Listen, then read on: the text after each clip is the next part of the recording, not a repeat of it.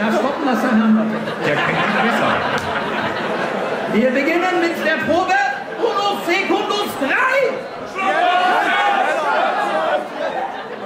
Ja, das, alle Kinder, ich würde sagen, das war wie aus einem Munde. War ja noch einer. Jens friss schneller. Wir üben das noch. Uno Secundus 3. Jetzt ist schneller! Ja, das war noch schnell. Das müsst ihr so lange wiederholen, bis er den Apfel verspielt hat und seine Zunge gezeigt hat. Die andere gleich große Hälfte. Die gehören alle dazu. Ja, die ja, ja. Jede Hälfte Das ihr. Julien Avignon anfeuern mit den Ihr macht die fertig. Julien